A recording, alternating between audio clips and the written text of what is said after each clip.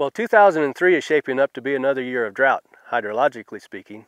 And by hydrological, I mean the water in our streams and in our reservoirs. Though spring precipitation is near normal, we continue to feel the impact of drought in our water storage system.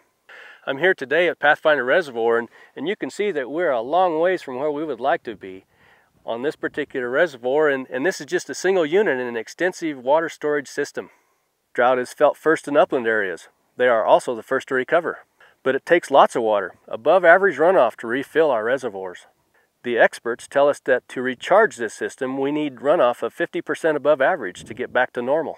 So even though we see green grass, we will continue this year to feel the effects of drought because of the importance of stored water to city dwellers and agriculture.